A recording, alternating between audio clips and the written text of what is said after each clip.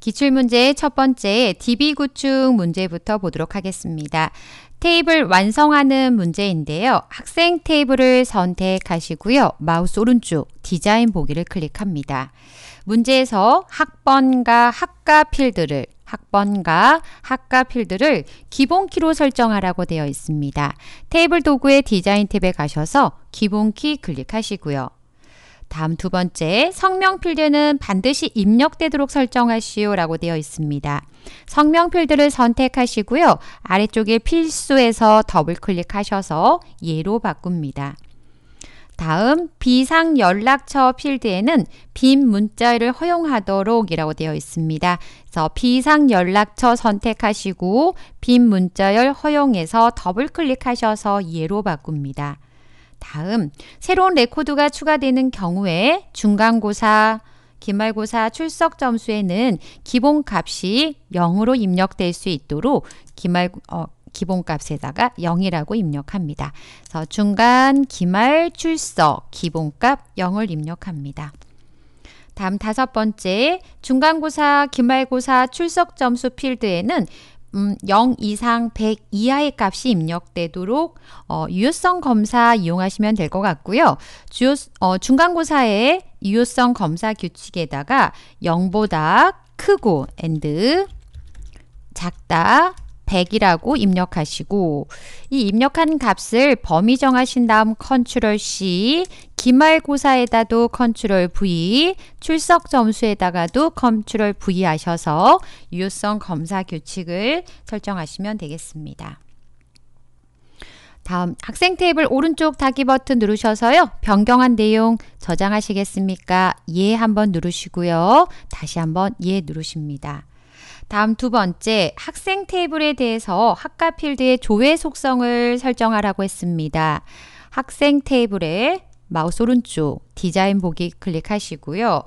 음, 학생 테이블의 학과 필드를 선택하신 다음 조회 탭을 클릭하셔서요. 현재 텍스트 상자로 되어 있는데 문제에서 콤보 상자라고 되어 있습니다. 콤보 상자 선택하시고 가져올 데이터의 행 원본은 테이블에서 가져올 거고 점점점 작성기 클릭하셔서 문제의 학과 테이블에서 가져오라고 했습니다. 더블 클릭하셔서 닫기 학과 코드와 그 다음 학과 테이블을 더블 클릭하셔서 두 개의 필드를 가져오셨다면 닫기 한번 누르시고요. 업데이트 예 누릅니다. 가져온 데이터에서 선택한 값이 저장되는 것은 첫 번째 필드에 있는 학과 코드가 저장이 되라고 되어 있으니까 바운드 열은 1로 하시고 가져오신 열의 개수는 두 개입니다. 라고 2라고 입력합니다. 그 다음 열 너비에다가 학과 코드 학과 열 너비를 1가 그 다음 세미콜론 2라고 입력하셔서 1cm, 2cm 콤보 상자 목록에는 최대 8개 행, 행의 개수는 8로 넣, 작성하시면 되겠습니다. 그리고 나서 데이터 시트 보기 저장 한번 하시고요. 문제 학과 테이블을 클릭하시면 콤보 상자로 바뀌어 있고 그 다음 학과 코드는 열너비 1, 그 다음에 어, 학과 테이블, 학과 필드는 열너비 2로 해서 이렇게 표시된 걸 확인할 수가 있습니다. 오른쪽 닫기 버튼 누르시면 되겠습니다. 그래서 음, DB 구축의 두 번째 문제까지 살펴보셨고 다음 세 번째 문제입니다. 성적 관리 폼을 선택하시고 마우스 오른쪽 디자인 보기를 클릭합니다.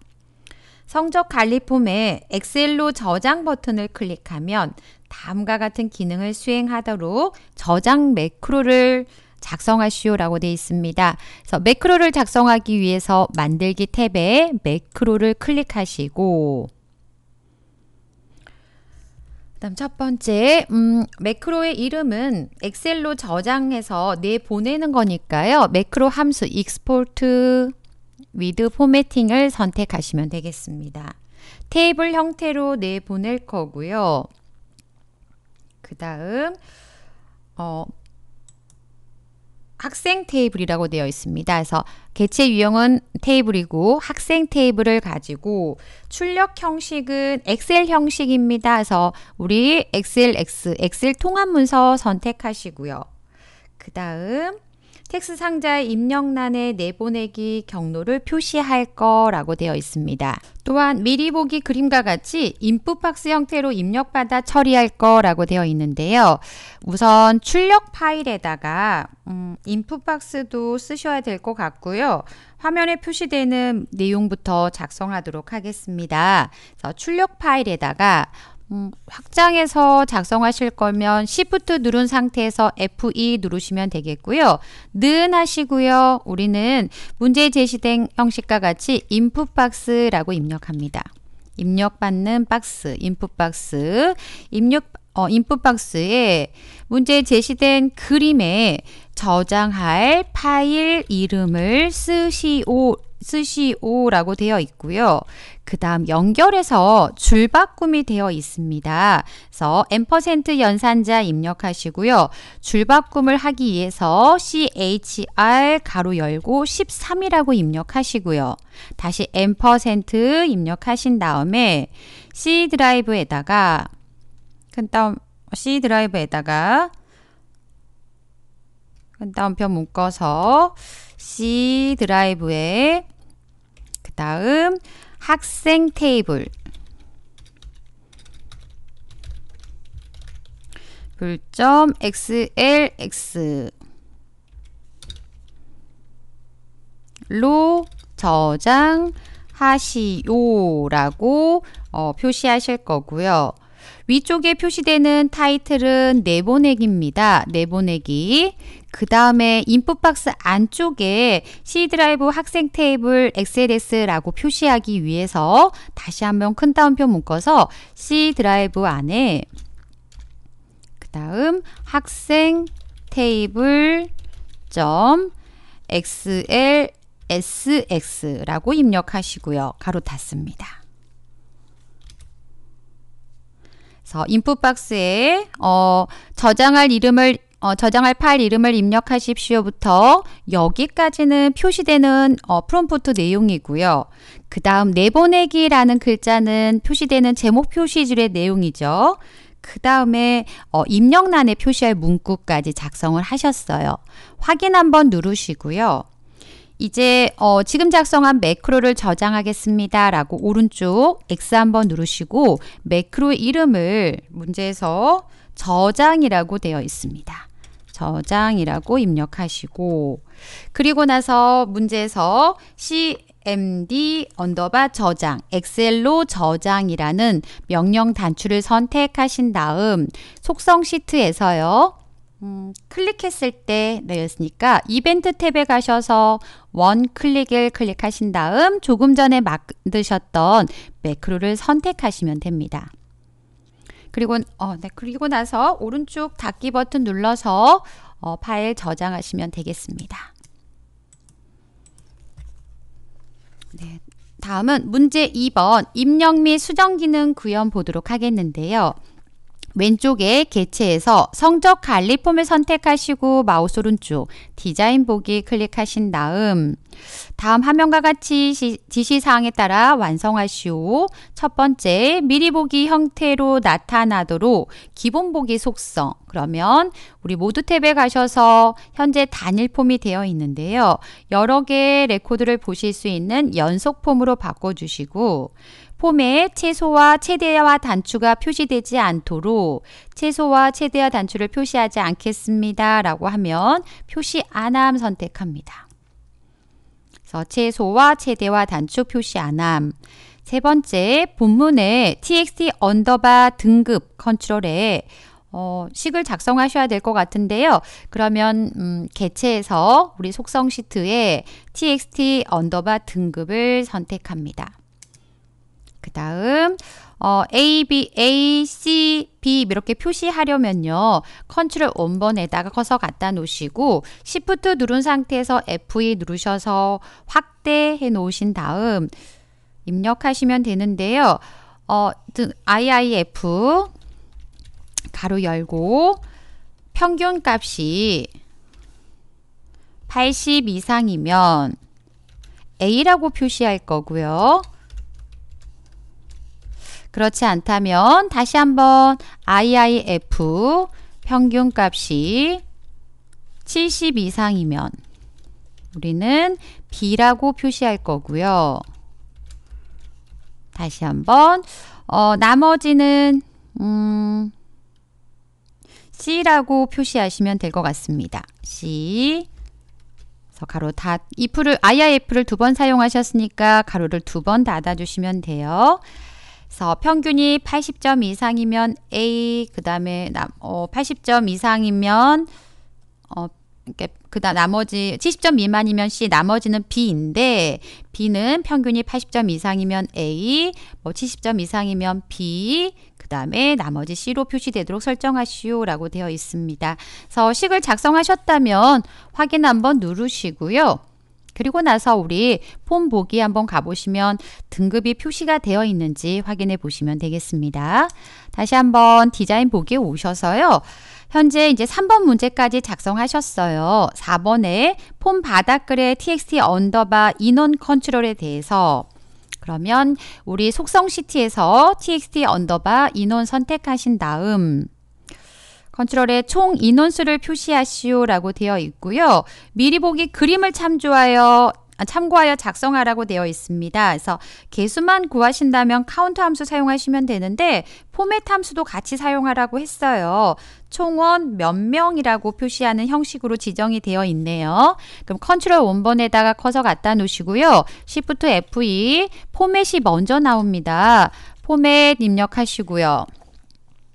FORMAT 입력하신 다음에 가로 열고 어, 값을 구하셔야 되는데 값은 카운트 함수를 통해서 개수를 구하겠습니다. 쉼표 형식은 총원 한 칸 띄고 몇 명이라고 표시할 거예요. 큰 따옴표 묶어서 총원 한 칸 띄우고 숫자를 대신하는 기호 샵 입력하시고 명자 입력하신 다음에 다시 한번 큰 따옴표 닫아주시면 되겠죠.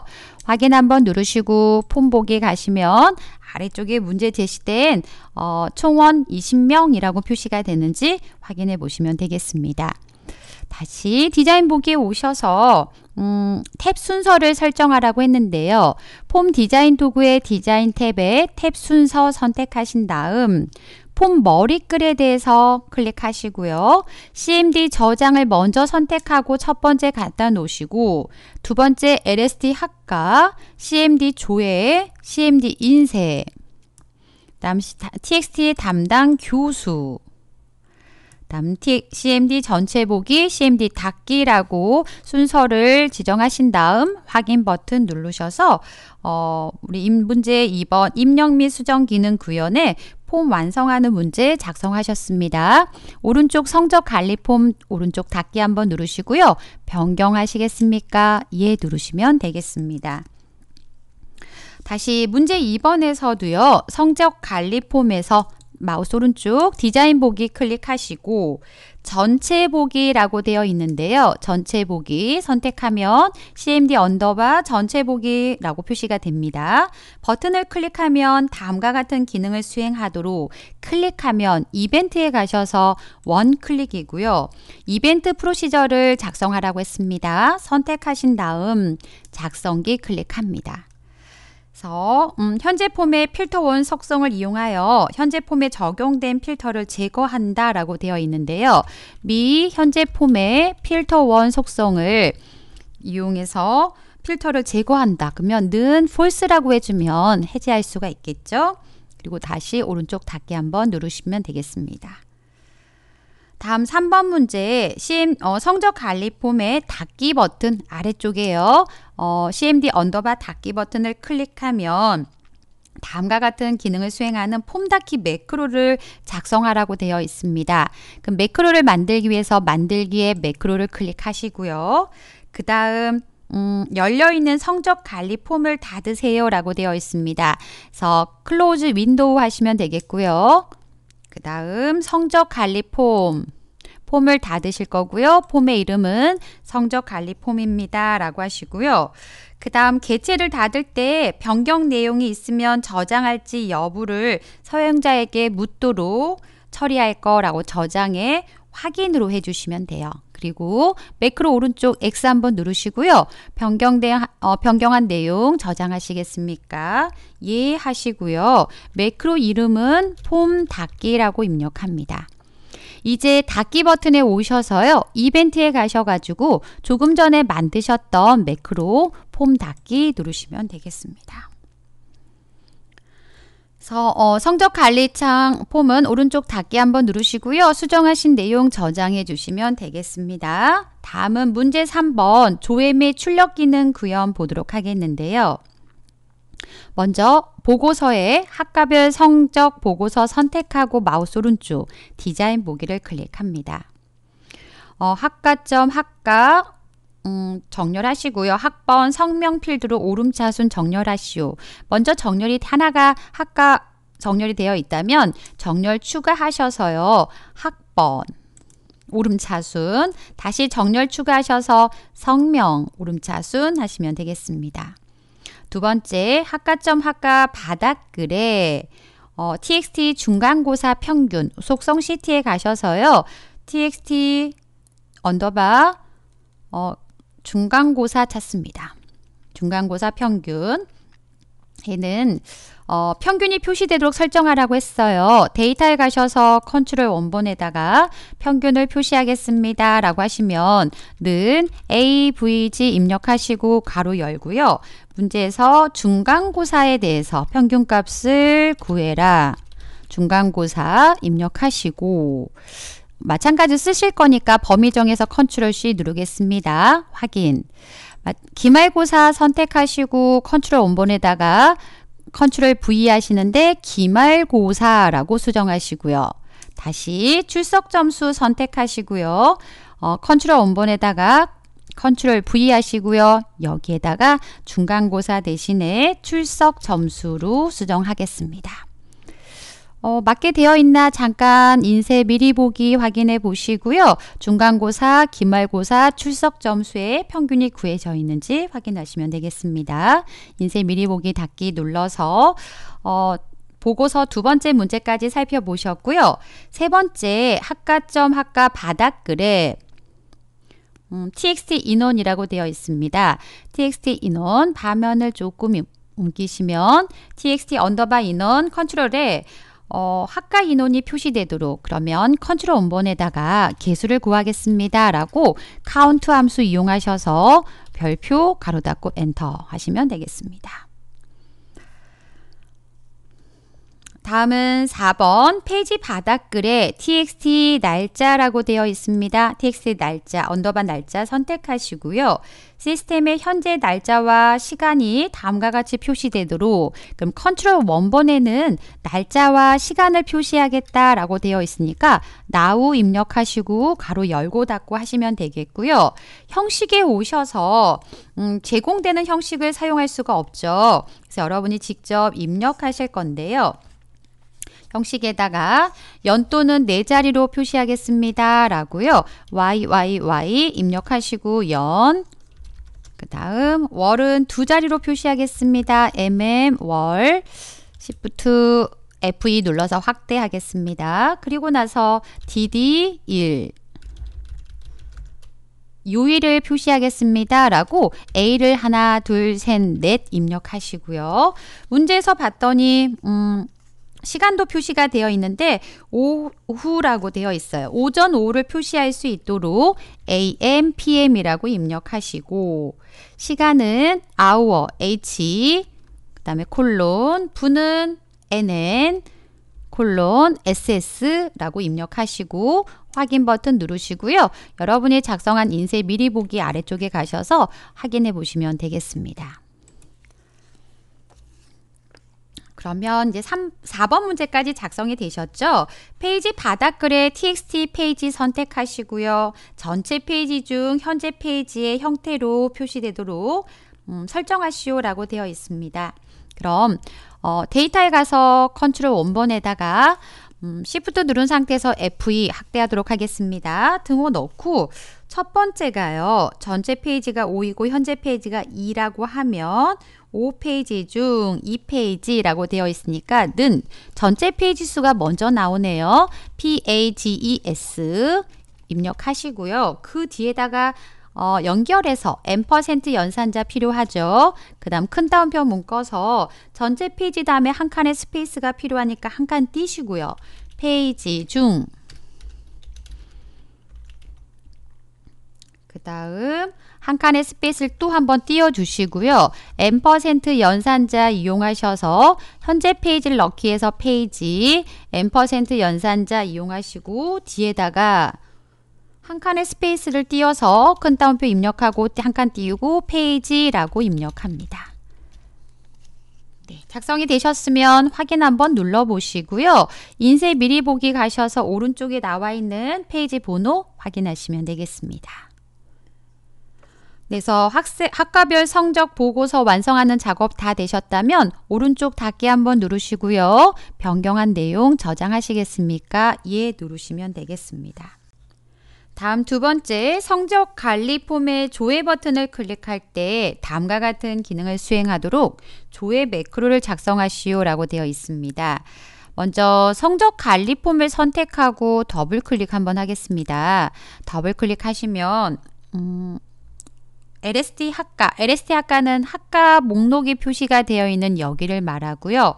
LST 학과에서 선택한 값과 내가 만약에 전산학과, 뭐 사회체육학과, 뭐 통계학과 이렇게 선택을 했을 때 선택한 값과 동일한 음, 내 코드만 본문에 표시하라고 했어요. 그래서 여기에 선택한 값과 아래쪽 본문 쪽에 있는 학과점 학과에 음, 있는 데이터하고 동일한 것만 어, 표시할 수 있도록 Apply Filter 매크로 함수를 이용해서 작성하라고 했습니다.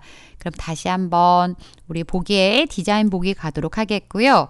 문제에서 매크로로 작성하라고 했으니까 만들기에 가셔서 매크로를 클릭합니다.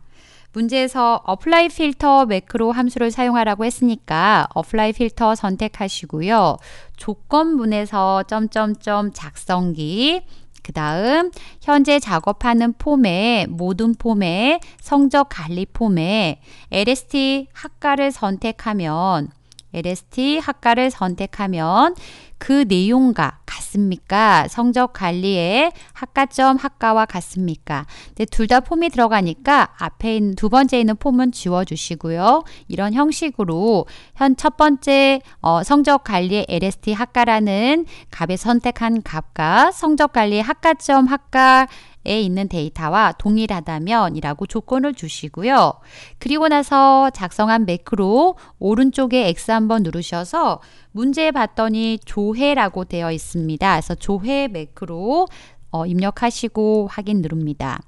이제는 CMD 언더바 조회, 음, 조회 버튼을 선택한 다음 이번 이벤트에 가셔서 클릭했을 때 원 클릭에 조회 매크로를 연결하겠습니다. 라고 선택하시고 다시 한번 폼 보기에 가셔서요. 만약에 통계학과를 좀 보고 싶은데요. 라고 선택하고 조회하시면 통계학과에 해당한 내용을 보실 수 있는지 다른 학과 선택하시고 조회하시면 해당 학과에 대한 내용을 볼 수 있는지 확인해 보시면 되겠습니다. 작업하셨으면 오른쪽 닫기 변경한 내용 저장하시면 되겠습니다. 2번 문제 살펴보셨고요. 어, 3번 문제도 성적 관리 폼이네요. 성적 관리 폼에서 마우스 오른쪽 디자인 보기 클릭하시고요. 인쇄, CMD 언더바 인쇄 버튼을 클릭할 때 다음과 같은 기능을 수행하도록 매크로를 작성하라고 되어 있습니다. 마찬가지로 만들기에 가셔서 매크로를 선택하실 거고요. 학과별 성적 보고서를 보고서를 그러면 Open Report 하시면 되겠죠. Open Report 선택하시고 보고서의 이름은 학과별 성적이고요. 인쇄 미리 보기라고 되어 있습니다. 보기 형식은 인쇄 미리 보기. 그 다음 다 작성하셨네요. 조건이 없으시니까 오른쪽에 닫기 한번 누르시고 변경된 내용 예 눌러서 매크로 이름을 인쇄라고 저장합니다. 확인 버튼 누르신 다음에 인쇄 버튼에 이벤트에 클릭했을 때 조금 전에 만드셨던 매크로 인쇄를 선택하시면 되겠습니다. 다음은 성적 관리 폼은 닫기 버튼 눌러서 변경한 내용 저장해 주시면 되겠고요. 다음은 문제 4번 처리 기능 구현 보도록 하겠습니다. 학과 폼을 선택하시고요. 마우스 오른쪽 디자인 보기 클릭하신 다음 삭제 버튼을 클릭하면 다음과 같은 기능을 수행하도록 이벤트 프로시저 클릭한다. 이벤트의 On Click 어, 이벤트 프로시저를 작성하겠습니다. 라고 선택하시고요. 그 다음에 작성기 클릭합니다.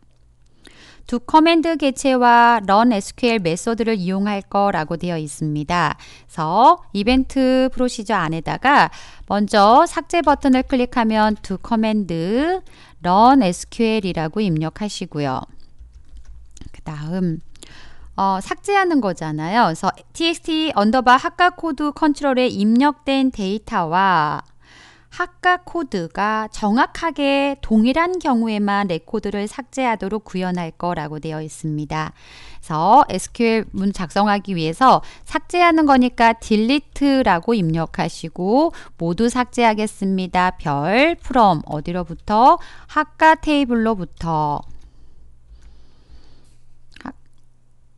아까 테이블로부터 삭제하겠습니다. 라고 하시면 되는데 조건이 있죠. 지금 여기까지 하게 되면 다 삭제돼요. 조건을 주시면 되는데 조건은 txt, 아니, txt 언더바 학과 코드 컨트롤 입력된 데이터와 학과 코드가 동일할 때라고 되어 있습니다. 그래서 학과 코드가 같습니까? 누구랑 같냐면 txt 언더바 학과 코드와 같습니까? 라고 입력하시고요. 다음 큰 따옴표를 닫으시면 되는데 txt 언더바 학과 코드 우리 학과 코드는 음, 속성이 문자입니다. 그래서 문자 처리를 위해서 작은 따옴표 입력해 주시고요. 앞뒤에 작은 따옴표 그리고 나서 이 컨트롤의 값에 대해서는 n% 연산자를 이용해서 구분하시겠죠. 그 다음 이제 큰 따옴표에 대한 처리를 해주시면 되는데 딜리트부터 시작해서 n% 앞에까지 큰 따옴표 닫아주시고 뒤쪽에 있는 n% 다음에 작은 따옴표 있는 거를 큰 따옴표 열어서 처리해 주시면 되겠습니다. 네, 그래서 삭제 버튼 작성하셨습니다. 오른쪽 닫기 한번 누르시고요. 그 다음 학과 폼도 오른쪽 닫기 한번 누르셔서요. 변경한 내용 저장하시면 되겠습니다. 두 번째, 학생이 수강하지 않는 학과를 표시하는 미등록 학과 쿼리를 작성하시오 라고 되어 있습니다. 그래서 쿼리를 작성하기 위해서요. 만들기에 쿼리 디자인 클릭하시고요. 가져오실 테이블은 어, 학생 테이블과 학과 테이블을 가져옵니다. 그리고 닫기 버튼 누르십니다. 문제에서 학생이 수강하지 않는 학과를 표시하라고 했어요. 그러면 어, 학과와 학생 테이블을 조금 이렇게 위치를 바꿔 보시고요. 학생이 조, 수강하지 않는 학과 그러면 학생 테이블에 없는 것만 학과 테이블에서 표시할 수 있도록 쿼리를 작성하시면 될 것 같습니다. 그래서 학과 테이블과 학생 테이블의 join 선을 더블 클릭하셔서요.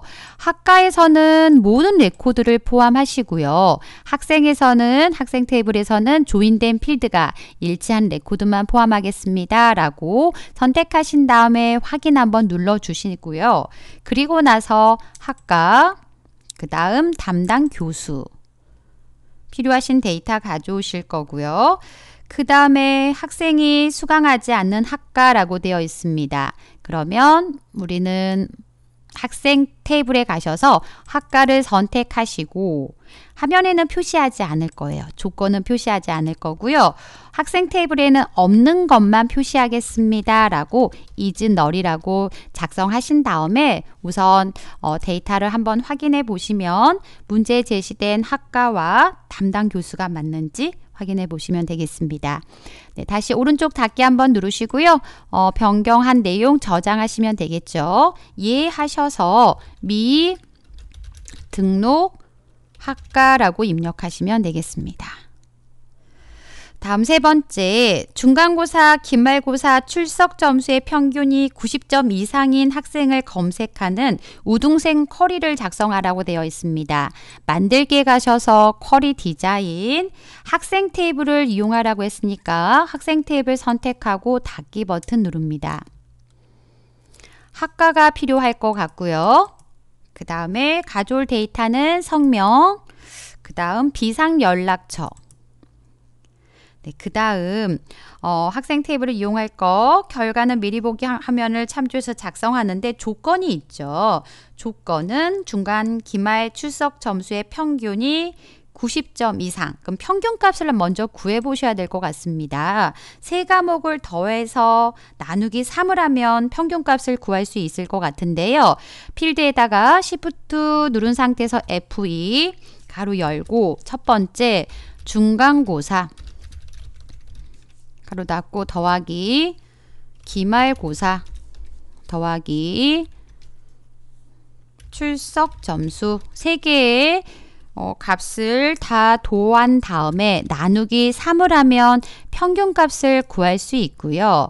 화면에 표시하진 않을 거니까 표시 체크 해제하시고 조건에 와서 평균값을 구했는데 그 값이 크거나 같습니까? 90이라는 값보다 크거나 같습니까? 라고 조건을 작성합니다.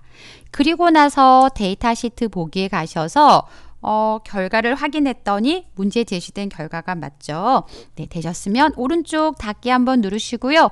저장하시겠습니까? 예, 누르신 다음 이름을 우등생이라고 입력하시고 확인 버튼 누르시면 되겠습니다. 여기까지 문제사 처리 기능 구형까지 보셨습니다.